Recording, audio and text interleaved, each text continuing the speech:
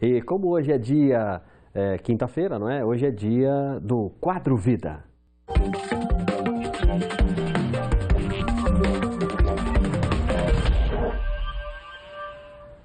Um mal silencioso que precisa ser detectado e tratado. O glaucoma. A doença não tem cura e pode levar à cegueira. Só no Brasil é, ele atinge 900 mil pessoas. Os dados são da Organização Mundial de Saúde. Uma dor de cabeça insuportável seguida das vistas embaçadas. O problema era na visão. Há cerca de 20 anos, a dona de casa descobriu que tem glaucoma. Dor de cabeça, tontiça, vomitava, cheguei até a desmaiar. Às vezes a visão fica toda turva, assim, coisa que passa uma neve. O glaucoma não tem cura. A doença que atinge grande parte da população idosa já é considerada a maior causa de cegueira irreversível. Você tem o glaucoma primário, o glaucoma genético, que a gente vê em 90% da população que tem glaucoma, e você tem os glaucomas secundários, secundários a trauma, secundários a corticoide, esse uso indiscriminado do corticoide aí, a gente consegue comprar corticoide na farmácia toda hora. Pode ser secundária ao veite, né, são doenças inflamatórias no olho, pode ser secundária a algum tipo de cirurgia, por exemplo, cirurgia de catarata, cirurgia de retina. O tratamento normalmente à base de colírios que reduzem a pressão dos olhos, mantém a doença estagnada, mas não recupera a visão perdida. Por isso, quanto mais cedo o diagnóstico, mais qualidade de vida para o paciente.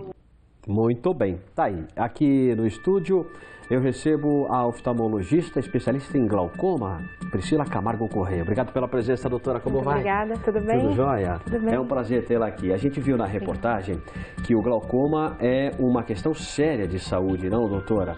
De acordo com a OMS, até 2020, 80 milhões de pessoas poderão ter glaucoma em todo o mundo. Doutora, o glaucoma atinge principalmente idosos ou é comum também em pessoas mais jovens?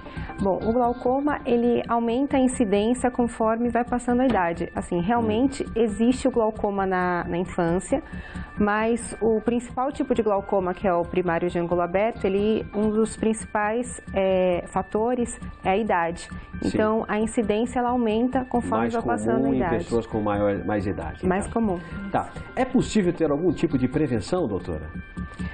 A prevenção, na verdade, é fazer uma consulta periódica. Isso, que aí você pode pegar, se acontecer a ocorrência, pode pegar logo no início, é isso? Isso, no glaucoma, a gente considera que o principal fator de risco é, modificável é a pressão intraocular. Então, é interessante ir no oftalmologista periodicamente para poder medir a pressão Hum. para poder, que é um fator que a gente consegue controlar aí, para poder, se tiver alguma suspeita, para poder fazer a avaliação do nervo óptico. Certo. Tem alguns tipos de glaucoma que estão associados com a, o ralinho tá um pouco mais fechado para a parte de drenagem. Hum. Então, às vezes é necessário fazer um laser, então é necessário ir no oftalmologista para a gente poder e é uma, é uma consulta de rotina, uma consulta simples? O exame, por exemplo, é simples? Como é que é feito, doutor?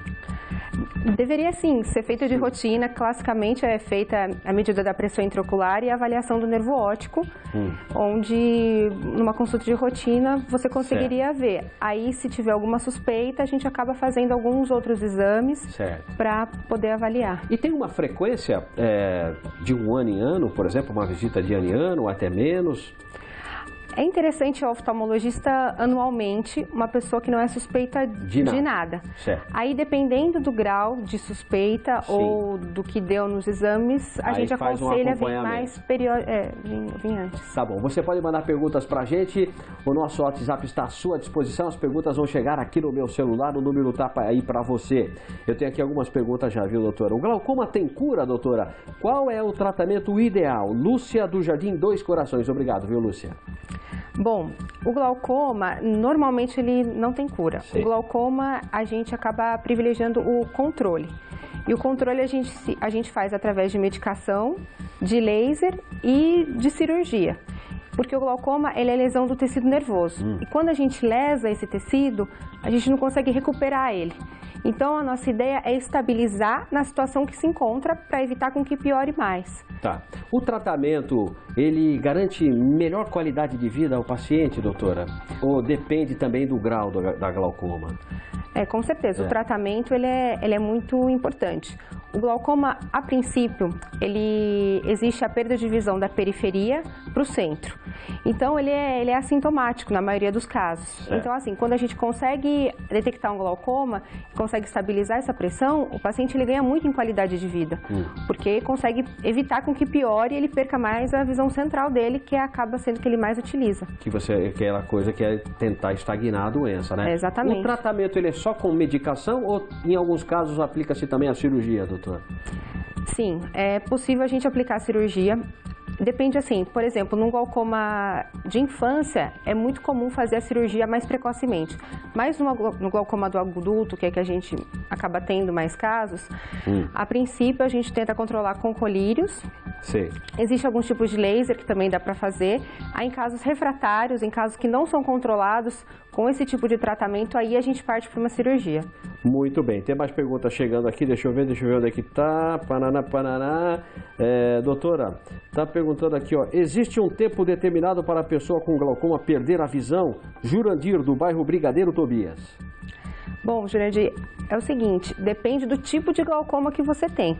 Tá? Tem alguns glaucomas que a gente chama de fast progression. O que, que é isso? Eles, eles acabam evoluindo mais rápido do que outros glaucomas. Então, por isso que é importante sempre no, no seu oftalmologista poder medir a pressão, poder fazer esse controle. Porque depende de cada caso. É diferente, por exemplo, a, teoricamente a pressão normal é de 10 a 20. Uma pessoa que tem uma pressão de 50, ela evolui diferente de uma pessoa que tem uma pressão de 23, por exemplo. Certo. Então depende de cada, de cada caso. Ok. Quais são os sintomas de glaucoma, doutora? É possível identificá-lo numa consulta de rotina? Márcia do Jardim Europa está perguntando. Bom, o glaucoma, normalmente ele não dá sintoma. Por isso que acaba sendo uma doença muito perigosa. Que avança sem perceber. Porque avança sem perceber. Quando você percebe, você já perdeu toda a visão da periferia, você já perdeu toda a periferia e já está invadindo o centro. E tem alguma maneira de a gente tentar descobrir como é que está perdendo essa visão periférica, doutora? Existe. Para suspeitar? Existem alguns exames funcionais que a gente fala. O nosso clássico padrão ouro é o, é o campo visual, a perimetria computadorizada. E é um exame que precisaria fez, fazer, pedir para o oftalmologista e pedir. Mas, por exemplo, a pessoa está andando na rua e não percebe a visão periférica que diminuiu e tal e de repente tropeça. Isso é um indicativo? Sim, pode ser. É, pode ser? Pode ser um indicativo. Uma coisa mais prática, né? Sim, é, ela perder, começa assim, ah, tô começando a tropeçar demais, tô com dificuldade nas escadas, pode ser. Por exemplo, está em casa fazendo uma, uma- alguma coisa ali, uma rotina é, cozinhando, fazendo alguma coisa, limpando a casa e não perceber, eh, de repente, Pode prestar ser, atenção nisso. pode ser. Em casos já são casos mais avançados, mas Sim. realmente quando você começa a perceber ou até tá dirigindo, aí Boa. você percebe que você não está conseguindo ver o retrovisor direito, também é uma É, e a referência é que, poxa, antigamente eu via, agora eu não estou vendo mais, não é, É, isso? Esse pode campo ser. de visão. É que assim, o campo de visão, existe várias doenças do trato óptico que atingem o campo de visão. Então, assim, o glaucoma Hum. É um atinge deles. bastante. Então, o fato de estar perdendo o campo de visão não obrigatoriamente a pessoa tem o glaucoma. Mas é uma sim, indicação uma- pra procurar é- oftalmologista. É, uma, indica- é, é uma indicação. Tá certo. Boa tarde. Meu médico suspeita que tem o glaucoma devido à escavação do nervo óptico, é isso? Mas por que minha pressão está sempre normal? Está dizendo a Marli da Vila Fiore. É, cada caso é um caso, não é? A doutora teria que, mais especificamente, acompanhar, viu, Marli, o seu caso. Mas ela pode, de forma genérica, dar uma, uma orientação, né? A escavação do nervo óptico é a região que normalmente é atingida pelo nervo que leva a nossa visão.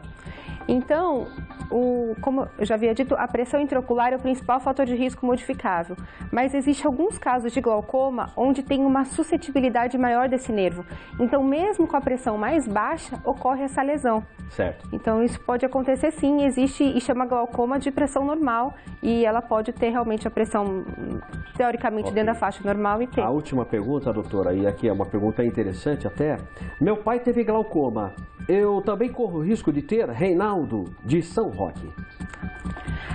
é, aumenta a chance. Então, ele está relacionado com história familiar, não é o único fator, mas sim, é legal ir ao oftalmologista para poder ver o que está Tem uma acontecendo, dica final existe. para a gente encerrar essa conversa? Tem alguma dica importante? É, é legal, assim, como seria interessante a gente falar que pelo fato de normalmente ser uma doença silenciosa, é muito importante fazer o controle periódico para poder evitar casos. Hoje em dia a gente tem uma, uma propedêutica, várias coisas que dá para a gente fazer. Então, quanto mais precoce precoce é detectado, maior as possibilidades de estabilização aí do quadro.